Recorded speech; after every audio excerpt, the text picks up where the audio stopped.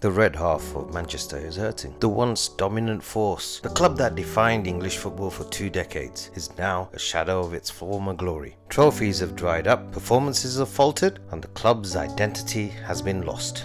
A revival always seems to be on its way. A slew of managers have walked through the doors in the past decade, bringing on a promise of a new era, and each have ended up being thrown to the wolves with no real major differences being seen. To understand the root causes of this decline, we must examine four key areas recruitment, player culture, infrastructure, and the wage structure. And I'm going to tell you exactly what needs to change at Manchester United.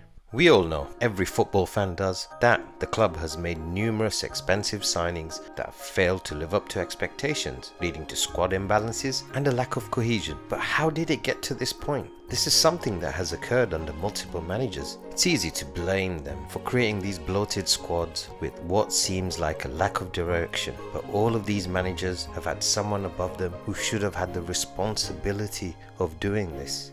Here's where the first change needs to happen. John Murtough is the director of football according to Manchester United. His duties include working with the board and the manager to identify transfer targets in line with the club's philosophy, handling player contracts and ensuring the club complies with financial fair play rules, overseeing the club's playing philosophy, the academy, the training ground, and player contracts, managing relations with sports media, and analyzing commercial performance. Then we have Darren Fletcher, the technical director, who works closely with John Murtough to add technical input and direction into all football areas and performance areas. His responsibilities according to United, include focusing on a coordinated and long term approach to player and squad development, helping maintain the integral link between the academy and the first team, aligned with Manchester United's values and culture, offering professional expertise in the areas of recruitment and squad building, both in the senior team and youth ranks, overseeing the club's playing philosophy, the academy, the training ground, player contracts, and the recruitment of both players and coaching staff. The reality is that all of that is a load of codswallop. There shouldn't be two people doing those roles. It's reminiscent of when Gerard Houllier and Roy Evans attempted to co-manage Liverpool. It was never going to work. There's no hierarchy. Naturally, people have different ways in which they want to work. The first line in each of those statements for their duties contradict each other. Darren Fletcher is in charge of deciding the long-term approach to squad and player development. Then why is Murtough in charge of transfers? Now on to why it seems he has no power. United's main rivals have done this. At Arsenal, Liverpool, and Man City, there's no split roles. There's Txiki, Edu, and Jorg Schmadtke. John Murtough has a really weird job. Seems he has power, but also has no power. Here's why. When it comes to dealing with agents, there have been complaints that he's uncontactable, and agents have had more success in dealing with Richard Arnold, who's now gone.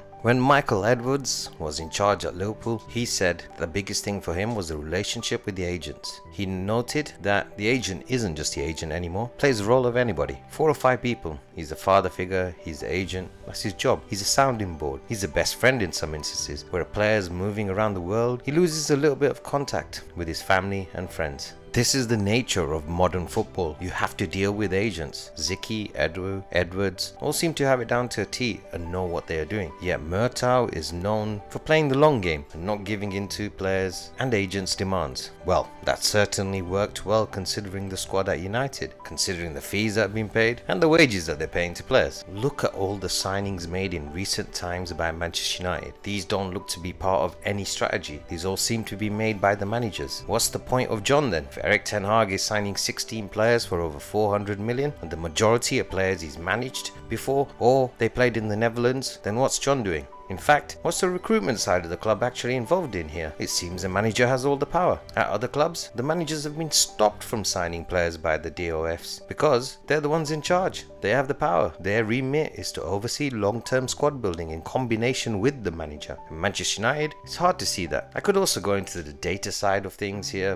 but I think with the problems I've just described, there's no point delving into that too much. We know most clubs use data-driven analytics now to enhance their scouting. At United, it's seems the scout is the manager. Get rid of Murtough, get rid of Fletcher. Put one man in charge and put the manager under him. Give the decision making to someone who knows what they are doing. Paul Mitchell, for example, has been mentioned multiple times, and that could be a good move for United. Moving on to player culture. I'll give Ten Hag some credit. He's tried to address the absolute crap that's been going on within the squad and some of the egos of these players. That Instagram generation of Pogba and Lingard have now gone, and look at where they are now. But the indiscipline and the frequent leaks in the media about the dressing room not believing in the manager are just ridiculous. Players complaining they don't know why they are running? I reckon James Milner would slap a player if they asked that question to him. Nemanja Matic has been doing a tour of the Balkans podcast, it seems. Even when he arrived at the club, he could not believe the difference in professionalism between Chelsea and Manchester United. He noted players turning up to trainings late consistently, considering the time passed between his arrival and now, and that lack of professionalism still ongoing, you have to say that this is now the club culture. It needs to be rooted out, and if that means getting rid of good players, you do it. Fergie used to do it, Klopp and Guardiola have done it. If you want to be at the level of those guys, you need the right culture. The wages being paid,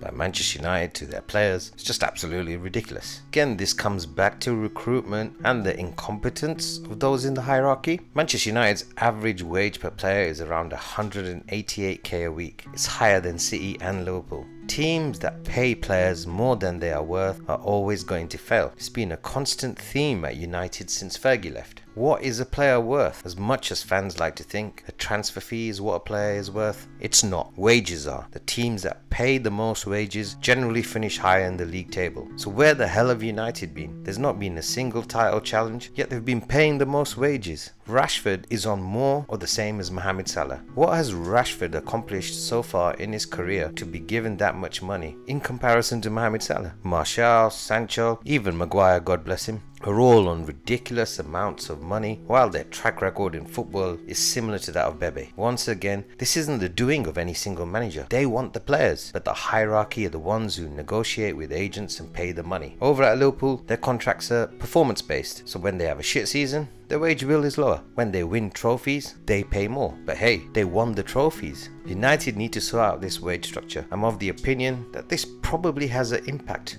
on the player culture there too. Finally, something that's so simple yet so neglected that it should make every Manchester United fan angry. The infrastructure. The stadium is failing, it's falling apart, rats are everywhere, the roof's leaking, fans are having water pissing down on them. Fix it, it's not that hard. Why is every other team in the league making improvements to their ground or building a new one whilst Manchester United sit still? The improvements are really not that expensive to make, yet all we hear about is building a new stadium, the cost, blah blah blah. That's not needed. Old Trafford is iconic. Start fixing shit, start improving the hygiene. This impacts fans. The people who contribute money to the club. The reason United are able to pay those players the obscene wages. I was in the executive areas recently and even those toilets made me think what the hell. Then we have Carrington, the training ground that hasn't changed in 15 years according to one of the greatest players ever. Build a brand new training ground that matches City, Liverpool and Spurs. This isn't the 90s anymore. If you don't invest in your training facilities then the results will be reflected on the pitch. Maybe that's why some of these players don't want to show up to training when the showers are broken and tiles are chipped in the swimming pool. Even small cosmetic changes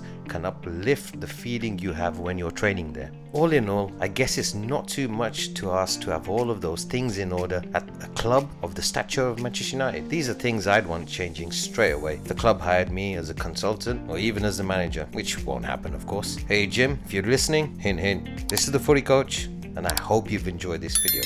Thank you for watching.